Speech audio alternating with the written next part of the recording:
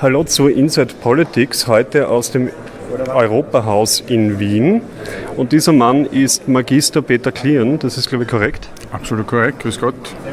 Und Sie sind Ihres Zeichens Satiriker, Reporter für den ORF, kann man auch so sagen, und eines der Gesichter von Willkommen Österreich. Alles vollkommen korrekt.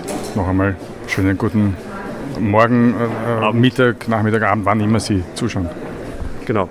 Wie sehen Sie die aktuelle Lage jetzt? Sie haben heute mit Ihrem Team auch sich das Wahlergebnis oder sagen wir mal so die Prognose zum Wahlergebnis angesehen. Was ist so die Stimmungslage und wie bewerten Sie das? Ja, ein bisschen überraschend, dass die FPÖ unter Anführungszeichen nur 2% verloren hat. Das macht ein bisschen den Anschein, als wäre es eh schon wurscht, was man macht. Ne? Einen gewissen äh, Bodensatz wird man immer mitnehmen können an Fans. Das hat mich doch überrascht, überrascht auch diese massiven Zugewinne der, der ÖVP. Ich schon davon, bin schon davon ausgegangen, dass die das gewinnen werden, dass sie auch dazu gewinnen werden, dass sie so massiv dazu gewinnen. Ähm, ist, ist überraschend, aber sicher aus meiner Sicht ein Signal für die Nationalratswahl.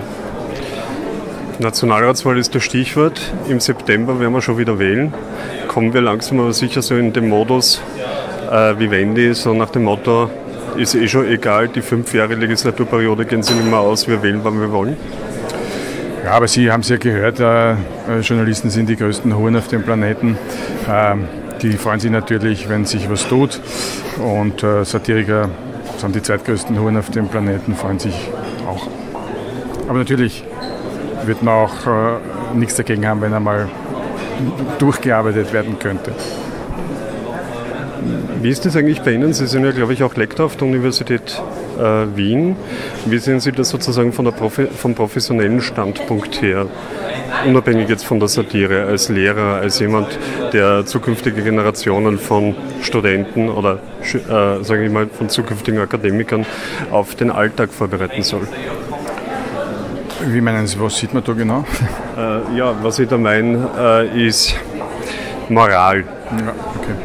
Ja, nachdem ich auf der Philosophie unterrichtet habe, ich habe das jetzt da eingestellt, weil ich einfach keine Zeit mehr dafür habe. Die Auftritte waren so viel in den letzten beiden Jahren und jetzt kommt die eigene Fernsehshow noch dazu. Äh, deswegen habe ich das jetzt mal auf Eis gelegt. Aber natürlich ist, äh, sind die Vorfälle, die in dem Ibiza-Video ähm, aufgedeckt sind und äh, viele andere Dinge, die mit Politik zu tun haben, sind natürlich schon so gestaltet, dass sich, dass sich die Durchschnitts Bürger denken müssen, ja, wie geht es ihnen eigentlich? Ne? Und dass äh, Moral halt eine Kategorie ist, die man sich vielleicht wünschen würde im äh, politischen Alltag, überhaupt im Leben, aber ja, äh, natürlich nirgendwo das geeignete Vorbild dafür findet. Und das ist dann natürlich schon ein bisschen ein Problem. Glauben Sie, dass es da mehr Regeln braucht, so nach dem Motto, Regulierung wäre eine Errungenschaft in der Politik? Naja, sicher. Also was jetzt das Stichwort Transparenz anbelangt, zum Beispiel bin ich sehr dafür, dass man äh, die Parteienförderung, äh, äh, aber auch die Förder Fördergelder, die vom Staat verteilt werden etc., viel genauer ähm, beobachtet und viel genauer äh, dokumentiert äh, wissen möchte, weil das einfach helfen würde. Wir haben sicher sehr viel Intransparenz, das Amtsgeheimnis etc., das uns nicht gerade hilft, der Politik als einen transparenten Vorgang zu organisieren. Das wäre aber notwendig, wenn wir wegkommen wollen von Korruption, wie sie da angedeutet ist im Ibiza-Video. Genau, das ist ja, glaube ich, ein großes Problem. Inwiefern ist aber Korruption zum Beispiel für Sie Futter für Ihre Gags und für Ihre Arbeit?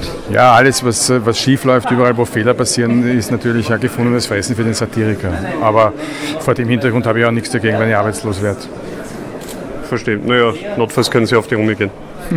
Eben würde ich dann dort weitermachen. Abschließend eine Frage, was kann man sich von dieser Late-Night-Show, die Sie ab Herbst machen, wenn Sie schon was verraten dürfen, erwarten? Ja, darf ich leider noch nichts verraten. Ähm, am besten dann ab Ende August, Anfang September äh, meinen Facebook-Kanal verfolgen, ähm, die, die Öffentlichkeitsarbeit des ORF. Wir starten dann Mitte September und ich hoffe sehr, Sie sind dabei. Ich freue mich über jeden einzelnen Zuschauer. Am Anfang ist es besonders hart. Ja, und wir verabschieden uns natürlich bei jedem Zuschauer persönlich. Also in diesem Sinne alles Gute, noch eine schöne Wahl und bis bald. Das war es für heute. Herzlichen Dank fürs Zusehen und wenn euch das Video gefallen hat, bitte teilt es, hinterlasst einen Like oder abonniert unseren Kanal. Danke.